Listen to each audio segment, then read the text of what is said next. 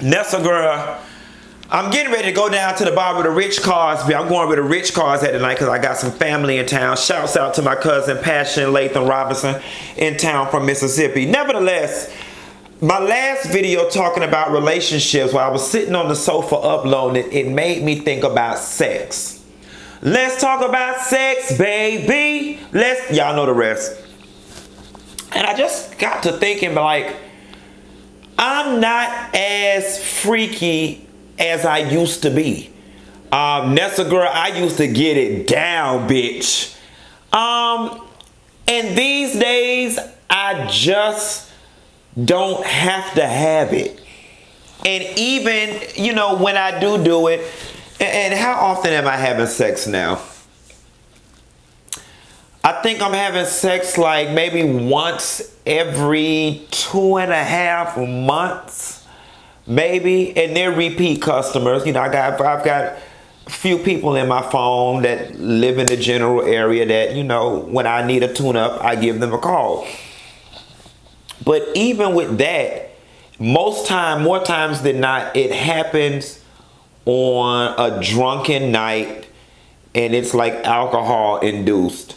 But just on some day to day shit, I just don't have to have it. And even when I am having it, it ain't like some of the things I used to do.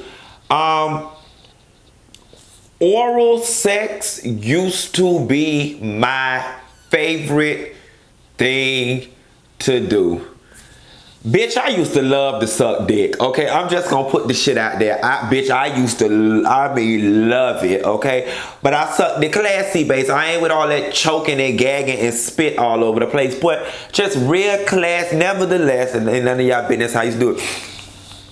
But something has happened now with the thought of you putting your penis in my mouth now repulses me. And I don't know why I am having this uh, inverted or backwards progression in my sex life. Like y'all, maybe it's because I was a hoe. All right, I'm gonna just put the shit out there. Like I, everything there is to do sexually, for the most part, with the exception of like that S and M and bondage shit, I've done. The threesomes, the group sex, you know, 20, 30 people in a room. I've done that. Swingers, I've done that. Every position imaginable, I've done that. Um, with people watching, voyeurism. I mean, I've gotten into a lot of things. I've got to, to you know, have sex in public. I've, I've explored all these different things and I enjoyed these experiences and they were so hot and so freaky and so tantalizing and all these other provocative things. But at 34 years old now, I don't desire any of that. And it's weird because I had so much fun. It was so hot and so freaky. And this is going to sound cheesy and I know y'all going to laugh, but I think what's going on with me now is that I have had so much casual sex, so much random sex, and so much sex with people who I've had no attachment to that the only sexual interactions that I am truly interested in are one where there's a real connection. Um, aka lovemaking, I guess.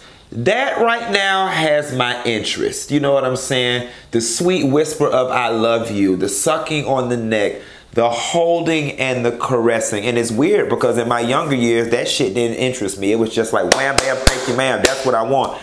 But now it's like I ain't got to do all that. I ain't got to have all that. And if it's just going to be a matter of us just like hooking up for some pointless casual sex, I'd rather just have a body party with myself. Uh, it's easier, uh, it's quicker, it's safer, it's more efficient. Um, And when you're having me time, I get to close my eyes and imagine I'm having whatever experience I want. You know, casual sex, especially being gay or random sex, it is such a process, right? Let's just say, for instance, I got the itch right now. First, I've got to go through my phone and I've got to reach out to my, you know, list of available people, right? So, you know, you call one, two, three, text, flirt. Okay, the first two aren't in the mood. The third one is. However, I'm out to eat with my boys right now. And then after that, I gotta go home and prepare. You see what I'm saying? So, you know, even if the person wasn't out, there's still an hour lead time that goes into preparation because somebody got to dish out their ass, you know what I'm saying, and clean it, and that's a whole process. Then you got to get over here, you know, then you got to call me because you don't know where to park.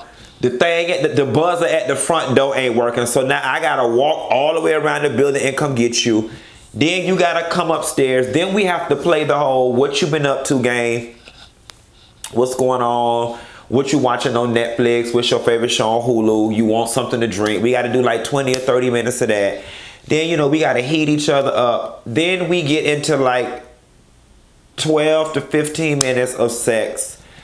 Then it's like you got to clean up. And now I'm sitting here like, okay, stop talking, stop talking. Like, oh, my cousin just called me. We finna go eat. Um, I'm to call you later on tonight and see if you want to come back over here knowing damn well I'm like, it's it's just it's this long drawn out process when honestly and truthfully I could just turn on you know Pornhub and grab my Palmer's cocoa butter lotion because that's the only thing I use when I touch myself I ain't afraid to touch myself I don't need nobody else y'all remember that T-Boz when she had a solo career I pull out my Palmer's cocoa butter and I can go to work in like five to seven minutes. I mean, not even that. I can really knock it out in two minutes if needs be and be done with it all. Um, so I don't know, y'all. Maybe maybe everything with me just wrong. I don't want no man. I don't want no sex. I don't want no relationship. I don't want no damn kids. I mean, it, I, I, don't know. Or maybe it's called getting older. But y'all help me figure it out.